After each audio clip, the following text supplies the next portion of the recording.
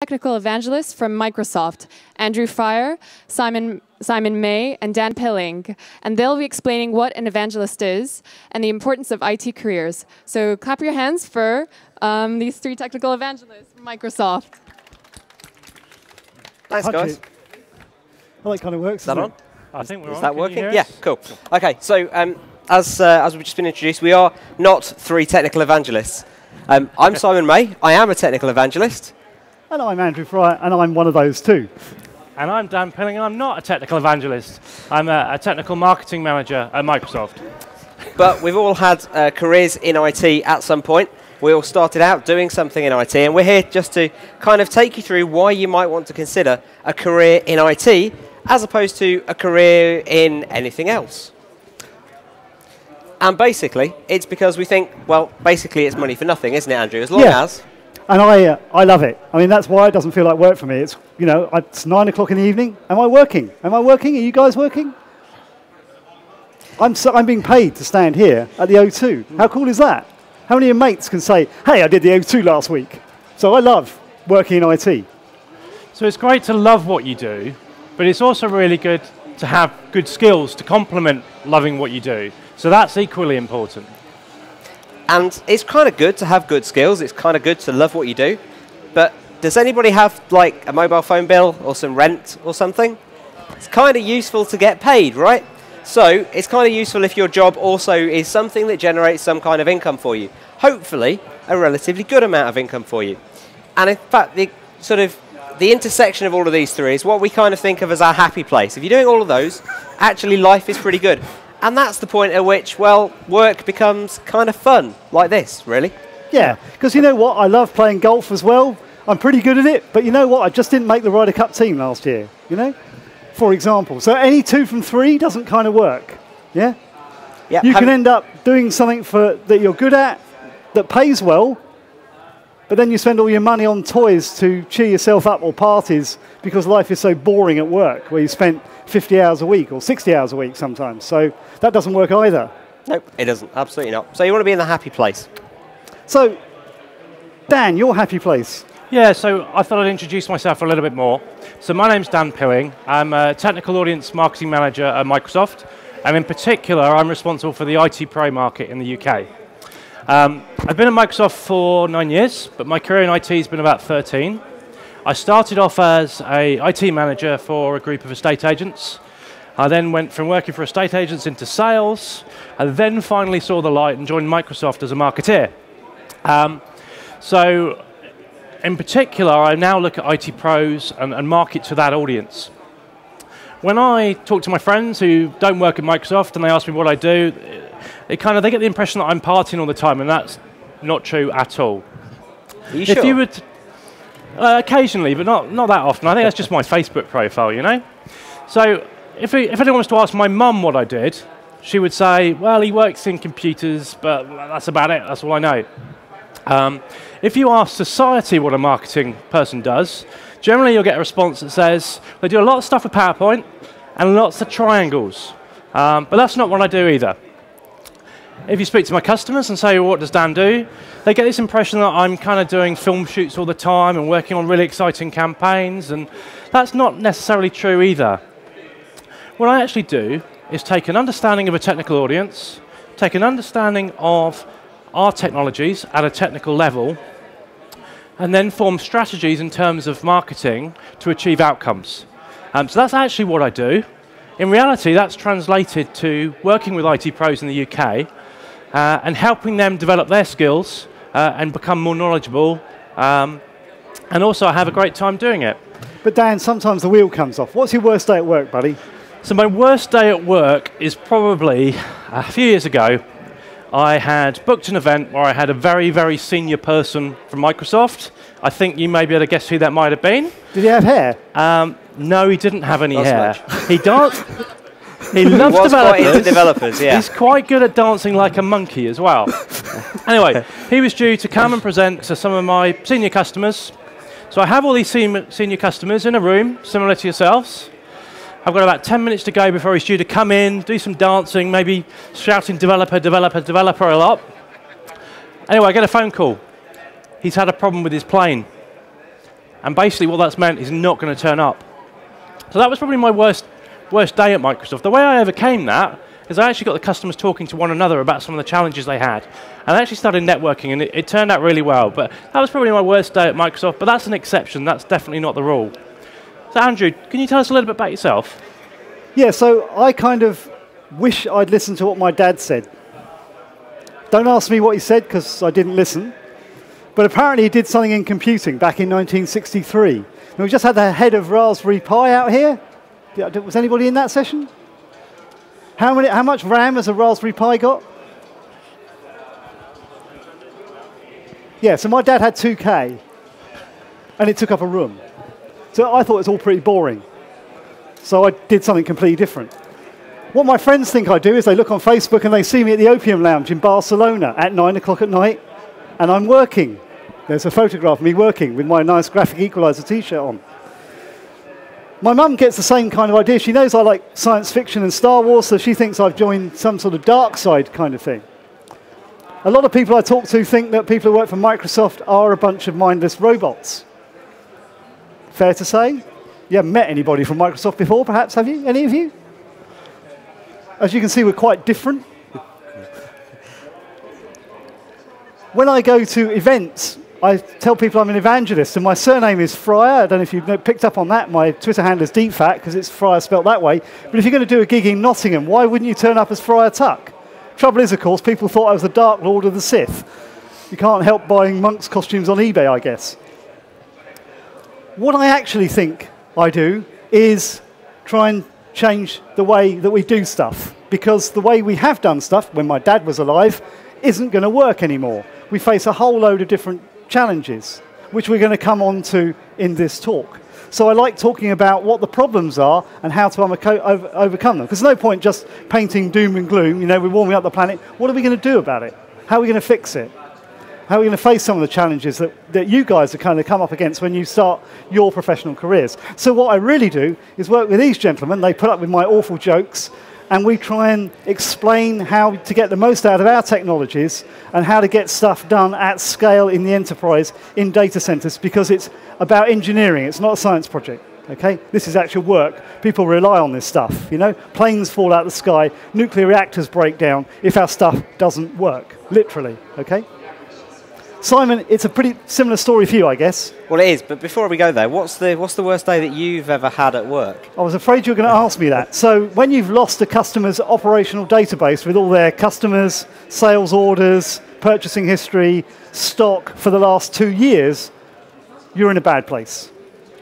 Now, I learned two things. One, it's really good to have a backup. Two, it's really good to own up. And owning up is about going to the, your manager and saying, I fucked up. Are we allowed to say that this time of night? Probably not. Yes, after nine o'clock, it's okay. Okay, right, well, after the watershed. Good. So I made a mistake. And I went and told my manager I made a mistake. And uh, honesty actually is valued in the IT industry. It's one of the great things about working it. There's a lot of trust going on because we're all experts and we, we trust each other's interdisciplinary skills and we get on with each other. So I was able to recover the situation much faster than if I tried to cover it up. And we're in a good place. Not perhaps the best place, but a good place. You don't have those kind of problems, though, did you, Simon? No, I didn't have those kind of problems. So, um, again, you might be starting to spot a theme here. Um, what does people think I do? Again, if they look on Facebook, they appear to think that I seem to go to a lot of parties. It's a bit odd. Um, I don't quite understand why that is. I think it's mainly because every time I do something like this, there's somebody goes out into a room and fills it with glow sticks before they um, let me go on stage, which I don't really quite know why, but thank you very much for doing that. Um, what, what, my mum thinks I do is kind of close to what I used to do which is um, looking after, well, people's IT, really. That's where I started out. It's where I started my career. Um, I started out doing desktop support, and we'll go on to a little bit around that a little bit later on, but that's kind of what my mum's vision of me still is, and it's never been uprooted. Um, what, do, what does everybody else think I do? What does society at large think I do? Well, I think probably look after some sort of data center. I don't, I know what they smell like. If you've ever been into a data center, they all smell exactly the same. Um, but I don't go into them very often unless I need to go and take a picture of a server to use in a presentation. Customers kind of think I do this, but on a smaller scale in a white room.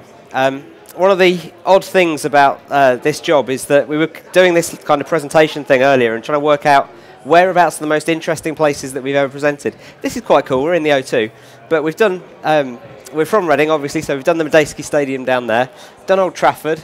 You've done the Emirates. Um, Wembley. Wembley, Wembley. was quite good.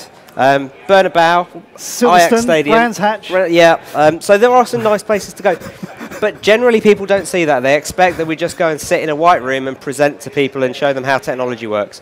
Again, we don't really do that. We do a little bit more. Um, we're trying to make things a bit more interesting. I, however, love what I do, which means that I think that I'm playing all the time. I think that every time I open up a laptop, build a server, spend 20 hours creating a demo that then doesn't work, that's fun. that's I'm just a bit weird like that. So, you know, those are the kind of things that I do. What I actually do on a day-to-day basis is sit there and do a lot of hard work. I make virtual machines. I stand up servers. I take three laptops, turn them into a data center so that I can take it out on the road with me to show people how this stuff comes together. That's what an evangelist does with their day to day job. They take the technology, try and make it more useful for people, show them how they actually get to use this stuff. So, I think before we go on, let's find out what your worst day ever was. My Um, worst day at the office. Um, career okay. limiting move, Simon. Come on, you My know the worst thing. day at the office, the career limiting move. Um, I used to work for a bank. Uh, banks are really good at one thing making lots and lots and lots of money. They get really pissed when you stop them from making lots and lots and lots of money. You Keeping count here, up with all the swear words in this presentation. Yeah. So I um, I was uh, just doing some stuff one day, um, going in, working on some some servers, and um, this particular set of servers I'm working on happened to be a load of credit card processing servers. Just happened to be near Christmas. You can see where this is going. Um, I kind of took us into a little situation where we were kind of losing about two million pounds an hour. That's not nice. It's also not nice when you are your own manager, so you have to go and turn around to a director of said bank and say, um, one of our guys kind of made a mistake, and we're now kind of losing about two million pounds an hour in revenue. Is that going to be okay if we leave it overnight? The answer there is no, and you do a 36-hour day. However, off the back of a 36-hour day, um, I kind of I learned a lot about how not to do creative things with servers that are in production um, that actually have two million pounds worth of transactions running through them at any one time. It was quite a good day, as it turned out. Um, it did quite a lot for my career from a uh, um, an improvement point of view after the fact. However, that particular night wasn't the best night of my life, has to be said. But it recovered. So we've been doing IT for a while. Some of you are just entering your IT career. So we thought it'd be quite good to have a look at what's changing the way we work in IT today. There's presentations all around this theatre. We don't hear Microsoft mentioned too much. Take it away, Simon. So I guess there's, there are three major changes, and we'll go through each one and explain what we mean by each one, and we'll drill down into them in a little bit more detail as well. If I was to ask you guys how many devices you've got right now and hold them aloft, you probably couldn't, because there's probably more devices in your pocket, especially if you are one of our student ambassadors. You've probably got five or six in your pocket at the moment, so it makes it kind of hard to show people. What we know globally as a market is that various devices are exploding in their um, in their different levels of usage. Obviously, uh, the one that grabs the headlines all the time is smartphone usage. We are about four years ahead of smartphone usage figures as to where we thought we were going to be as an industry. We thought we were going to have shipped about yeah, half a billion devices now, or have half a billion devices in use. We're up to a billion. So if you follow that curve through, we reckon that within about the next two to three years, we were on the three to four billion devices in use point. That's really important to understand from an IT point of view because three to four billion devices means three to four billion devices connecting into networks. So that's extra networks to manage. It's extra amounts of bandwidth to manage. You've also got to do something with all of those devices inside of an IT organization because it's not good to lose a device that's got all of your customer data on there. And lots of people think, oh yeah, but my phone doesn't carry customer data. What if your phone's got your customer contacts on it from your sales organization and somebody loses their phone? You need to be able to do something as a company to fix that because actually in the UK and around most of Europe, you have um, requirements to be able to do something with that device under data protection laws. It is a, an absolute legal requirement. We don't think about it as consumers every day. We don't think about the fact that somebody needs to be able to do something with that. But how would you like it if you are working for, you are a customer of a bank, and the bank manager loses his phone with all of your personal contact details on it? He's actually going to be a target because he's a bank manager. So he is actually an active target for somebody to go and pick him off of a train as he's getting off and go, you know what, I'm going to put a uh, golf ball in the back of a sock, hit you over the back of a head, and steal your phone because that phone has got 500 customer details on it. We have to think about that as IT folks. How do we deal with it? So, from a devices point of view, it's all about managing lots and lots of different disparate devices. And in fact, you can't do it. There are too many devices to manage. You need to manage the person, not the device. And those people are changing, aren't they, Dan? They are very much so. So not only have we got this explosion of devices, um, but for the first time in history, we have three generations of people working. Each generation works differently, potentially, has different expectations about what they require from IT, and has different ways of working. So we have devices, we have people, but there's kind of needs to be something that kind of brings all this together, Andrew. What would that be? Well, it's this cloudy thing, buddy. Um, I, have we had any presentations on cloud here today? Silence. It's a great way of turning off uh, technical people because it, and we, we want to spend a bit of time talking about it because it's important to understand it. But clearly, if you've got five devices, having your data on one of them and not on the other four is not brilliant because oh, those photos are over there. Well, I don't want them over there. I just want them on the device I'm going to pick up. And by the way, I'm going to refresh my device. We change our phones like some people change their socks at Microsoft. My 925 arrives tomorrow. God knows when I'm getting my 1020, probably the week after. Thanks, Dan. um, I don't want to keep fanning around. I just want to turn it on, tell it about who I am, and say, Here, where's my stuff? Show me my stuff. And it's the same with these. If this falls in a fish tank in a demo I saw recently, I just want to be able to turn it back on, get going, and get working. And, I don't want to have to track all the way into Reading, which frankly is appalling. I know you guys live there, but I live in Surrey.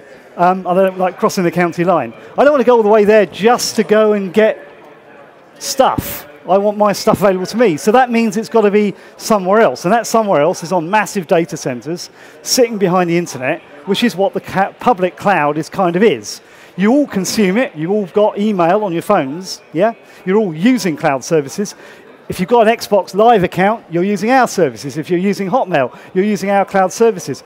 Office 365, perhaps if you're in the commercial world. Now, I don't want to make a plug for Microsoft, but clearly, if you went over to Dublin and you drove just down the road from our Dublin data center, oh, look, there's one, and it's got an Amazon badge on it. Oh, and there's one with Google on. Curiously, in the same place, which might, you might, what's so special about Dublin? And we're not talking about capital gains tax, we're talking about environmental conditions, before you asked me.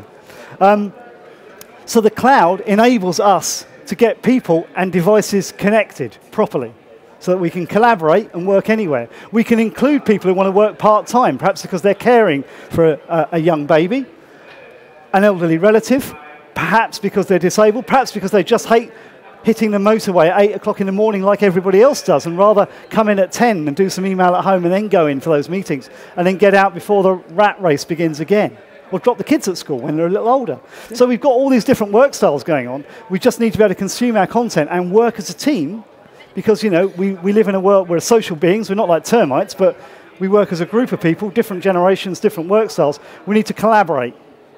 So cloud services enable us to do that. Sorry to rav it on, but if it wasn't really important, we wouldn't be spending 70% of our R&D budget, so that's five to six billion dollars a year, slightly more than we pay for our phones, um, just to do that stuff. And we design everything in the cloud first at Microsoft. Okay, so you're going to see that software is up there before it's available on here. Okay, that's kind of where we're going. That's our big bet. That's why the share price hasn't gone through the floor. That's why we still get our checks every month. So I think there's quite a few misconceptions around cloud. Um, there are indeed, Dan. I know if I talk to my friends who are not working in IT and you say to them, what does cloud mean to you? And they say, well, when I go and buy my new laptop in PC World or Comet, I get a lot of storage free that's up in the cloud. And that's what cloud is. Cloud's all about free storage for me with my new laptop. So my dad used to work at the, if you're from the UK, you might know the Met Office, that computer. So my mum thinks that cloud computing is how you work out whether it's going to rain tomorrow or not.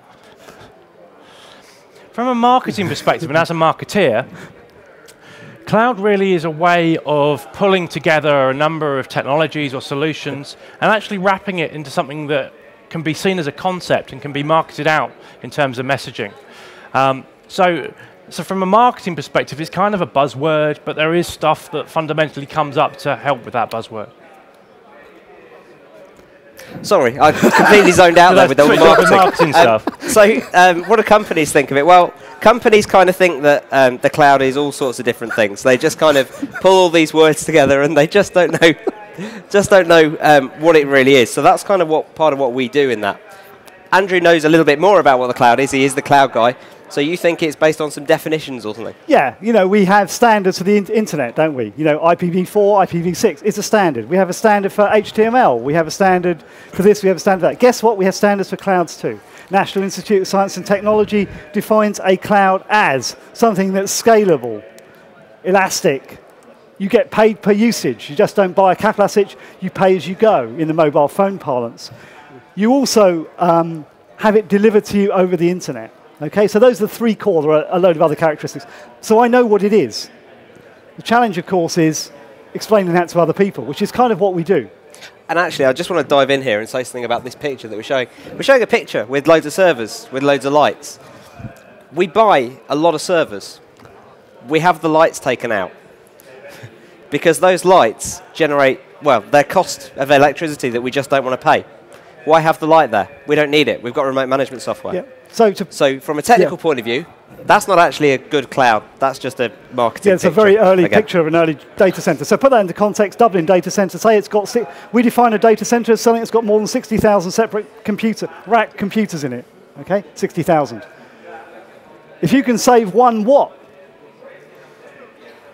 that's sixty thousand watts. That's a lot of watts. What we've learned doing this is that we are now charging you not on the basis of the software that's in here, not on the basis of how much we paid for all those servers, but how much power we're using.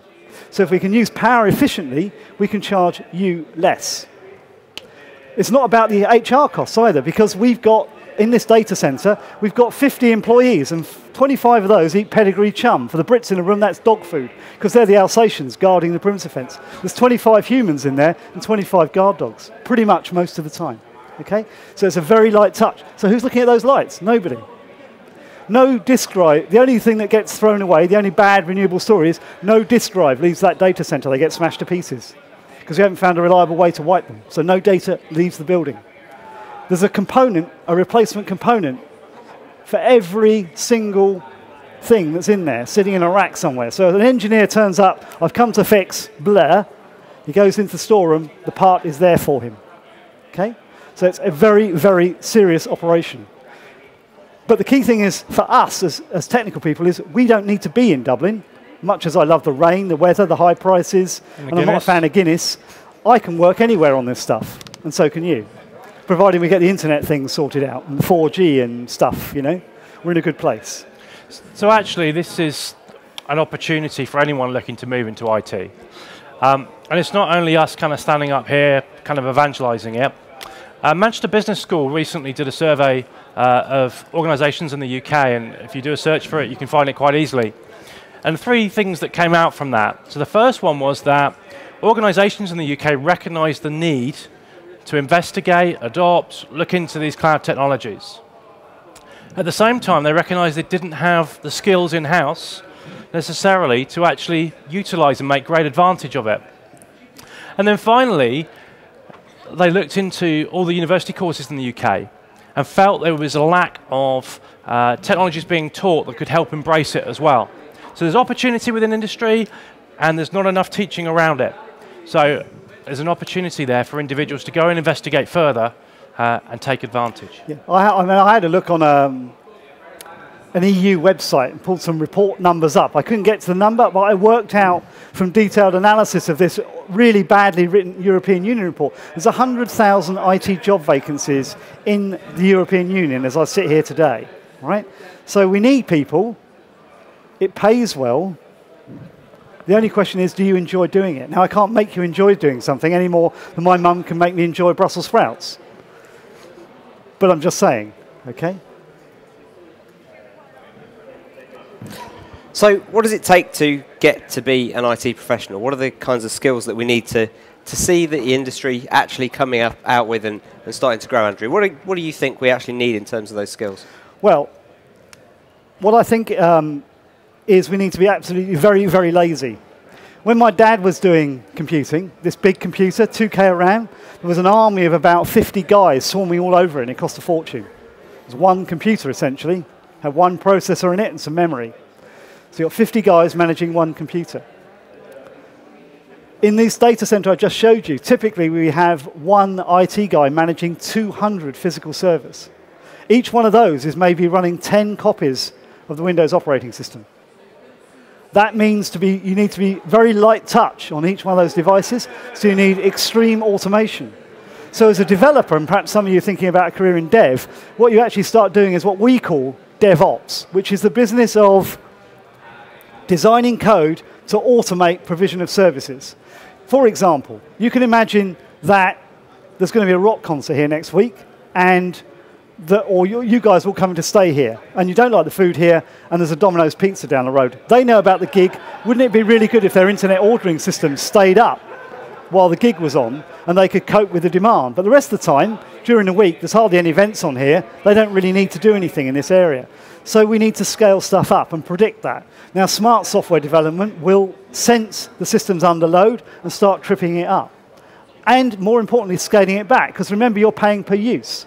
So if your next idea, the next Facebook, the next Twitter takes off, you want to use a cloud service to deploy onto it so that it grows as your idea grows and you're only paying for what you use.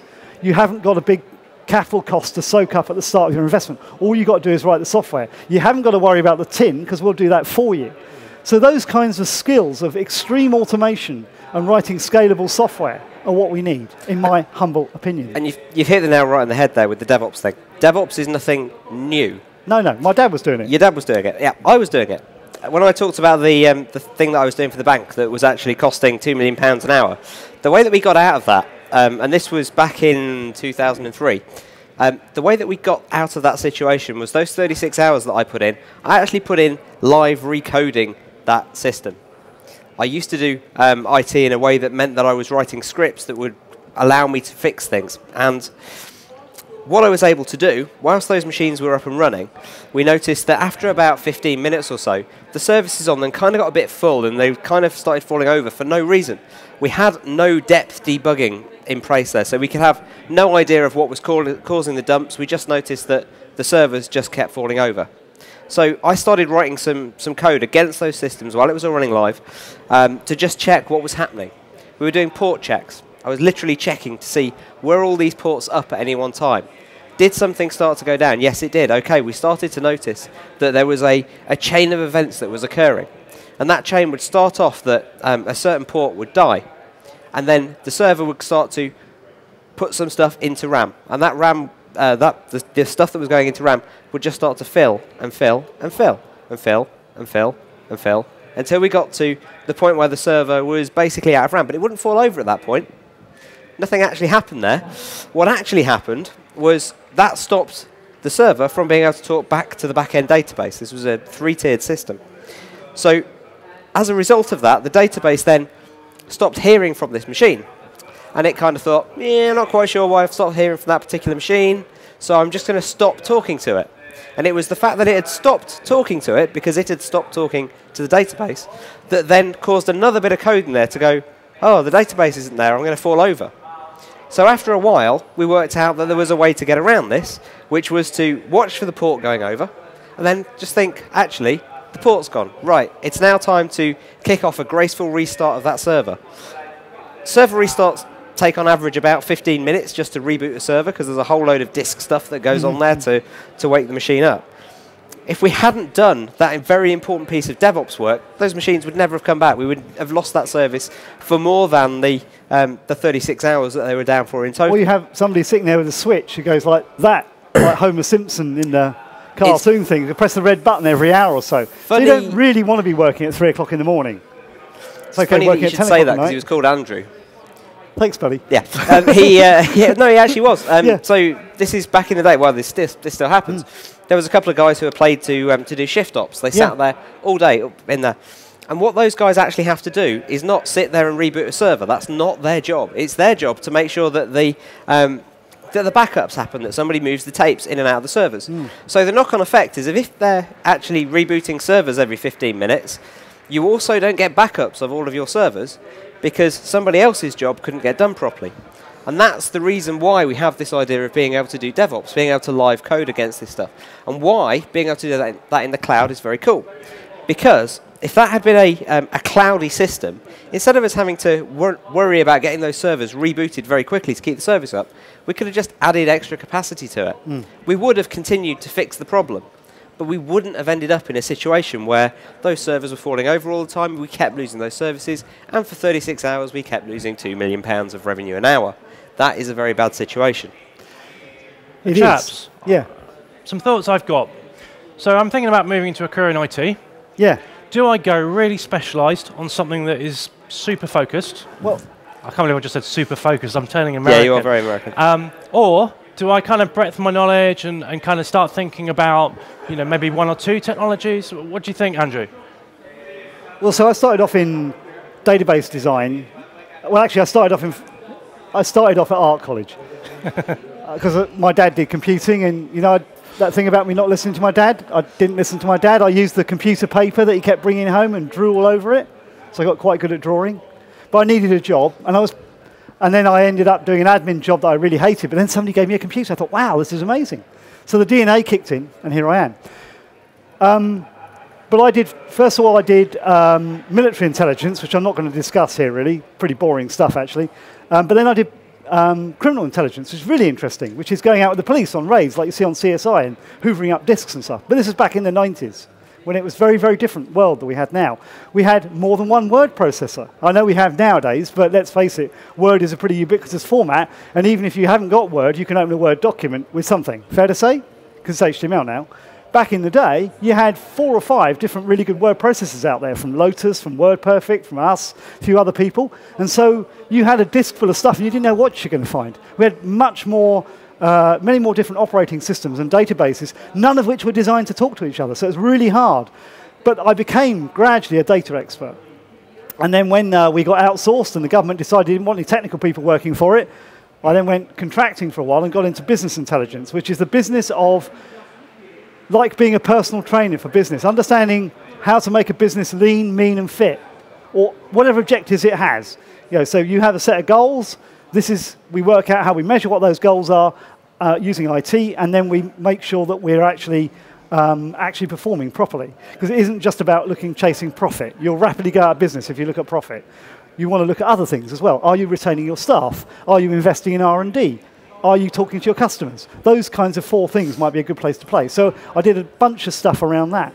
But then I realized that I needed to learn some other stuff as well. I needed to understand performance because this stuff had to work really quickly because you want to be using these tools at the speed of thought. Financial analysts and stockbrokers don't want to be waiting around. They want queries back straight away. So I had to learn about networking, I had to learn about security because this data was key to the business. It was the IP of the business. This is how this business operated. So it had to be secure, it had to work over the net, it had to, I had to work really closely with a whole bunch of other people. And I think the other thing I, I learned, Simon, is I needed to get a bit closer to the business.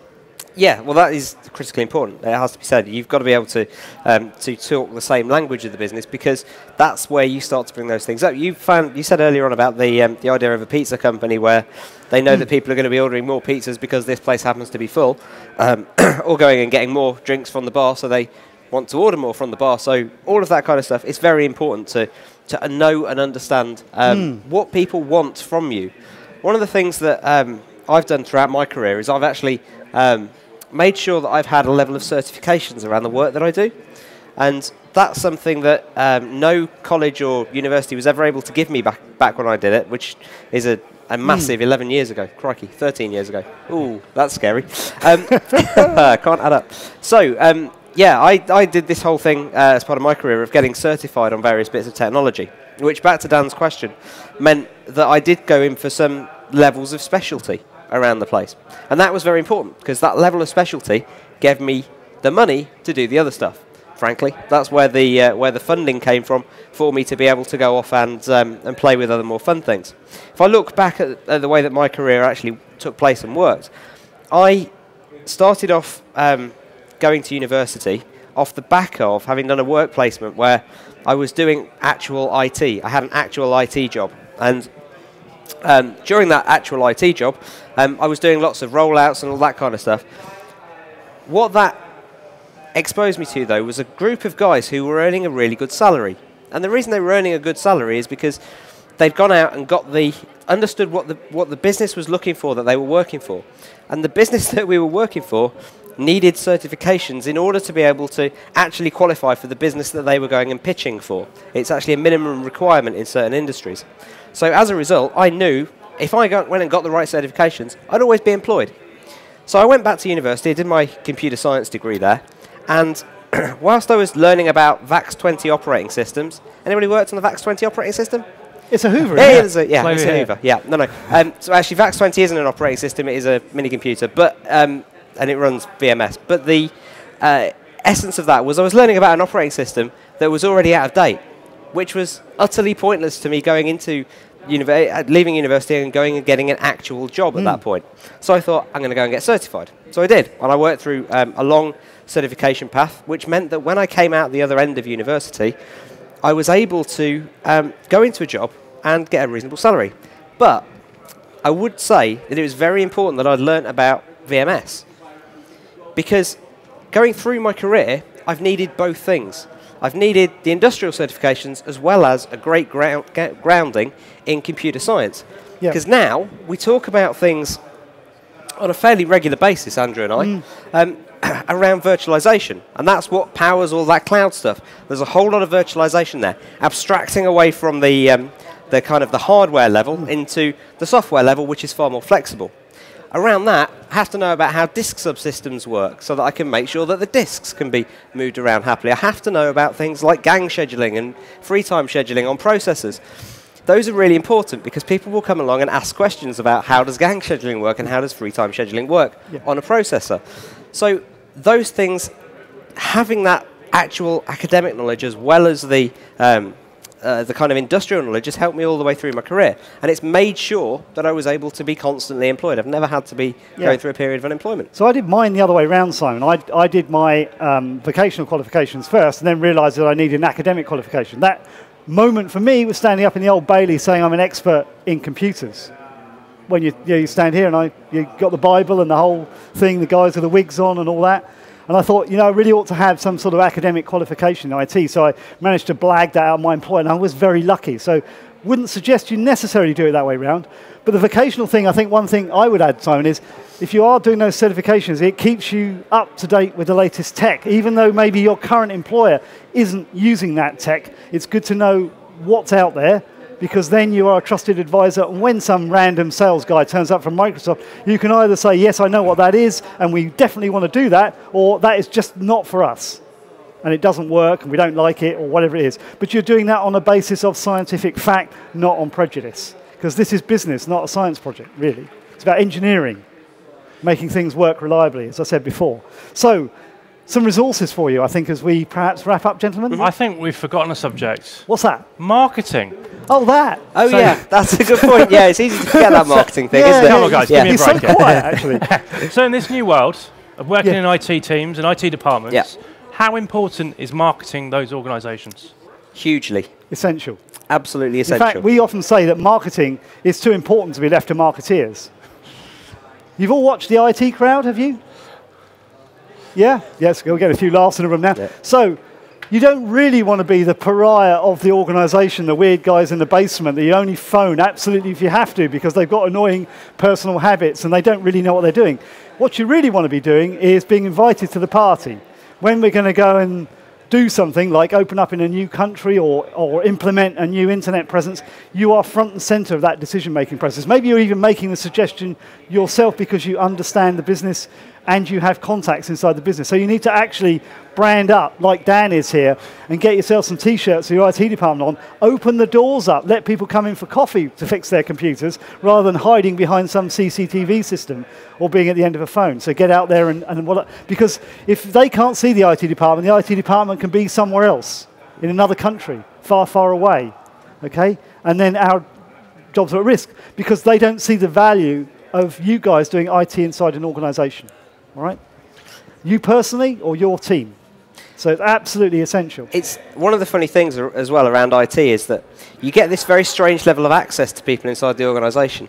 One of the things that I can always remember um, doing is, is actually sitting down um, with the chief financial officer of the bank that I once picked, uh, ba- bank that I once worked for, um, and helping him to pick out lighting sockets for his room, the switches, literally the switches for his house that he was going to install, because he thought that was IT. Yeah. But I didn't change that opinion in his head No. because I wanted him to be the person that comes to me every time he wanted to know something about IT. The fact that a light switch is nothing to do with IT didn't really matter, but the marketing was I'm the guy who knows how to make the electric stuff work, which meant that I kept getting jobs, strangely enough, inside of the organisation. Yeah. So you've got to market yourself, your boss, and your IT department. That's sort of roughly that order. That way the checks will keep coming in. So practically, if we look at the skills, Yeah, so first of all, how do we get on in terms of getting our hands on with this technology? So, if you're a student, then um, there's a program which is up there called DreamSpark. Uh, it's a free program. You get access to, is it pretty much every technology we Pretty do much. Yep, all the technologies. Yep. for free Yep. And cloud usage, I believe, as well, for free. and cloud usage. Yep. So, if you're interested don't- in that, come and see our guys on the stand tomorrow. The guys with the, ba- the, the, the Windows 8 ambassadors here. They'll get you set up with the code. You can get free access to the software. And it is much better than bit torrenting the software and then having the police come round and tell you. well, yeah, those, those you shouldn't have been dodgy, those that. dodgy um, additions you get to software sometimes. Yes. Some people, of course, actually like to learn differently. You know, you've just got your new Lumia 920, or Paul's trying to use my camera down here, and is worried about all the knobs and buttons. Maybe he wants to ask somebody or watch someone else use it before he uses it. So we have this virtual academy thing, which again is free. We're not trying to flog you anything. But if you want to understand what cloud is, what technology is, even the basics of networking and fabric, how stuff gets fitted together, you want to learn how to write professional software that doesn't break.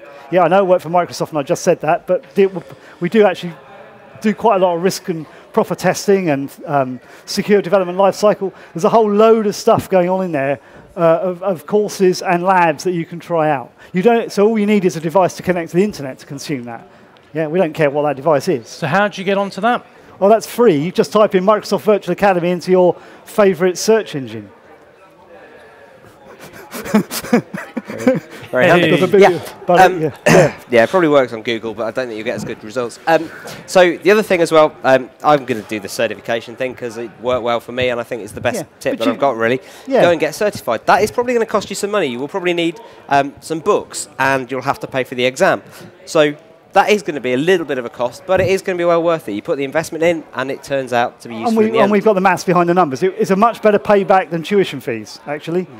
You know, you spend maybe 100, 200 quid, maybe 500 quid, maybe 1,000 quid to go and get a high level of certification. And within the first two years of you working, you're going to end up seeing 5 to 10k each year in your pay packet. That's good ROI. Okay, I can't discuss you doing a degree in IT. I'm not sure what the payback is, and so on. But that's what our research indicates about our certification. And of course, every, indus- every industry player like ourselves and our competitors have these vocational qualifications that do mean something and add value to your CV. They might just get you an interview because that's the bar that gets you to the table, like your degree does. But if you really know what you're doing, you'll be able to articulate beyond that. I think the other thing it also forces you to do is learn stuff you didn't know you needed to know because you're going to follow a syllabus. You might think you know something about Windows, but you don't until you do one of these exams. And then you'll really know about the stuff that Simon knows, which means that he's off to America in a couple of months' time, earning shed loads more cash as he gets sucked into the Borg mm. Yeah. with his Microsoft. so you like parties, right? On Facebook, I on do. Facebook. You like parties on Facebook. Yeah. I like parties on Facebook. I noticed there was a bar outside, so I think we're going to go and hit that in Yes, a that's second a or good two. plan, yes. However, beforehand, were you able to do the thing with the, the thing? Excellent. So Treasure before hunt? we go that, yeah, there's a treasure hunt. Who's got a Windows phone? Excellent. Okay, so so you guys aren't allowed to find this then. In that case, um, somewhere in this area, there's a badge underneath a seat or something, or in a cup holder. Maybe Looks the cup just holder like to one your of those, right. red. Hopefully, someone's got badge. one. In a cup holder and one on the seats, there is a badge. And we don't know where it is. It might not be in the one you're Hey, saying. have you got it? No. Oh, Ah. okay. You just got a bag. Damn it. We need a That's all right. badge. So, so you got to find it. It's got to be out there. You can win. We are giving away a seven billion dollar phone. That's what we paid for it yesterday. Hey. Chairman. Hey, there we go.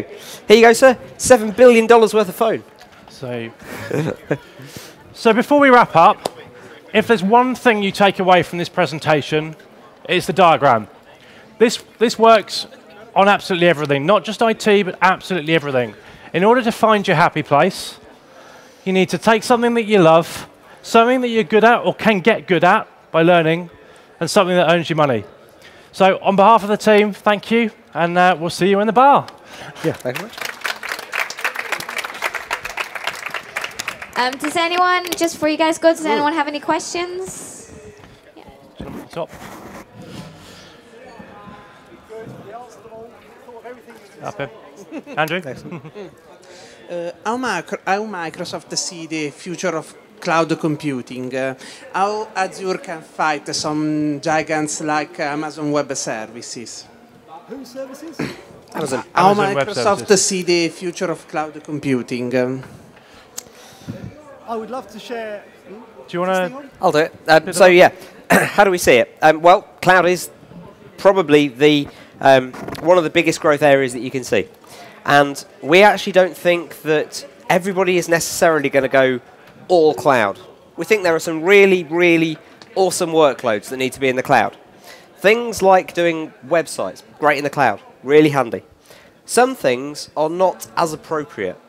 So, for example, if you're in um, in the UK, and I'll take my own example, and you're doing banking, or if you're doing health, sometimes allowing that data to actually be off premises is not a good idea because there are legal requirements around that. So, what we think is a better plan there is to build a hybrid. So, all of our solutions actually have hybrid built in from the ground up. So, if you take some code and you want to go and deploy that to our Azure cloud, which could be PHP, for example, take some PHP, go and deploy that on Azure. You might think, okay, we can do that. We can scale that up, scale that down. There's this component, which is also written in PHP, exactly the same PHP, because it was exactly the same dev team that wrote it. But we don't want that to be in the cloud for some reason. And it could be around, you know, risk of losing IP or something like that. So they might think, okay, let's put that on premises. And the way that our cloud solutions work, you can do. You can deploy exactly the same code in exactly the same way with exactly the same tools, monitor it with exactly the same tools, on premises, off premises, however you want to do it. Everything is built to, to do both, frankly. Yeah, so my, uh, my, my take to you is give it a go.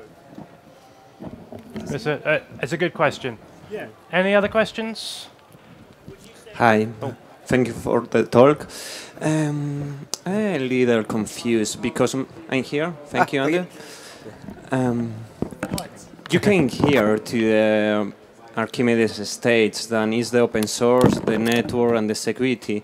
Few people from Microsoft. And Andy started speaking about something uh, related with the Raspberry Pi that is boring. And I'm very confused. And you are coming here to the open source stage to say that the Raspberry Pi project, that is a very good project, is trying to have uh, computer science in UK and in other third-party development countries saying that it's boring. So that is a little confused for me that you can hear and you say that. As we are now in the open source and you were speaking before about cloud, I wanted to know what is your thought about OpenStack and how Microsoft can compete with OpenStack companies. Thank you. Is this thing on? It should be. Try that. Let me shout out this a minute. Is this, is this work? Can you hear me okay? So what I... Okay, so let's, what, what is it you want to be open source? If you want the, if you want your code to be open source, you want to write in PHP, you want to run against a um, MongoDB kind of style NoSQL database, you give us your code and we'll run it for you. Now, yes, we're going to charge you to run it because even OpenStack are going to charge you for the compute and the power and so on.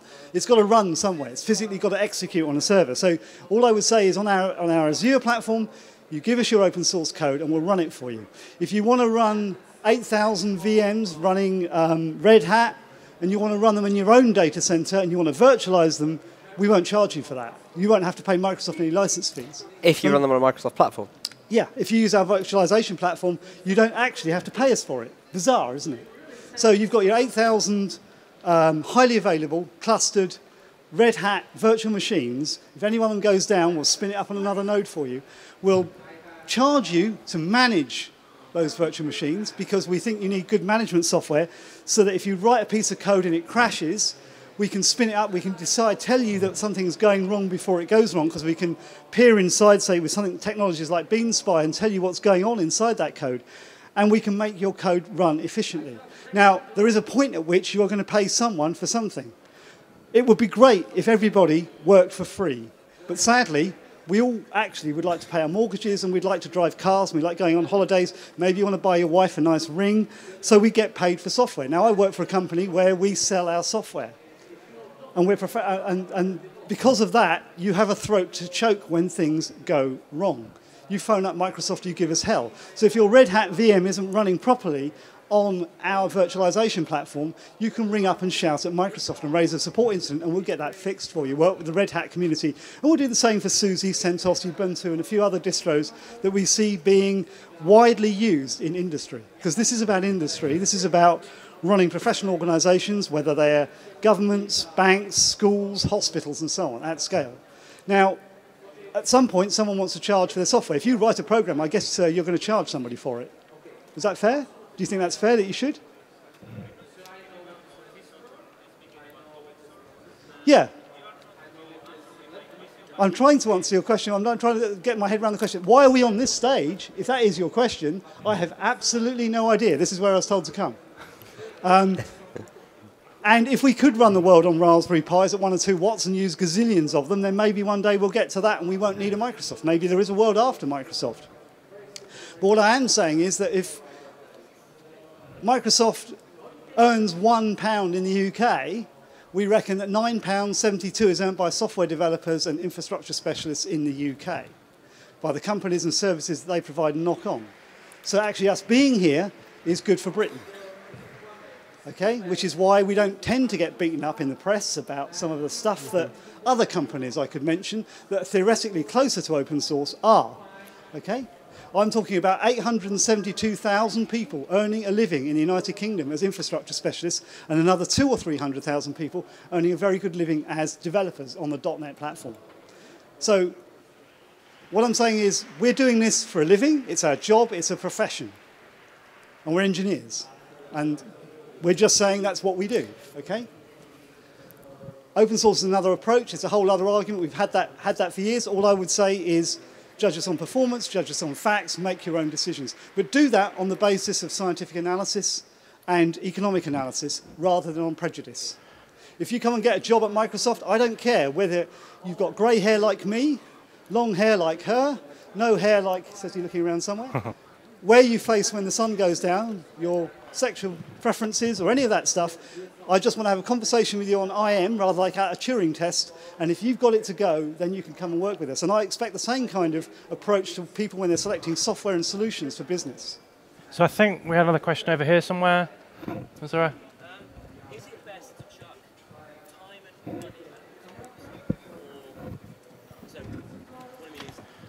if you have a project, actually, it, it can work. No, go on.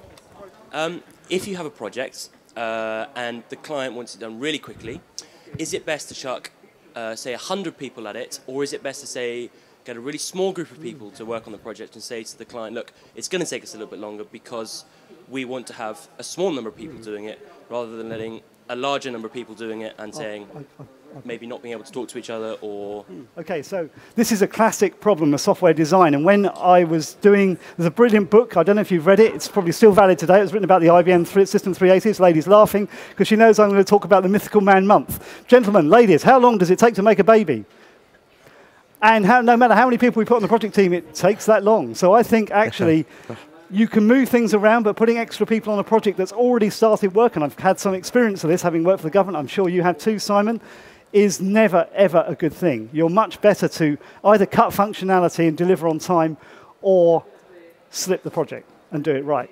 You know, we all go into a restaurant, you know, undercooked meat is never good for anybody. Undercooked software doesn't really work either. And I know I'm saying this talking for Microsoft, and we know, but equally, we are getting better at this. And our cloud expertise is making us much better because we deploy to the cloud first, so everybody's on the beta program. Everybody who's using Office 365 is already using the latest version of Word or Excel. They're testing it for us. So when it goes out on media or as a download, as an ISO file you can download, it's actually working a lot better. Okay?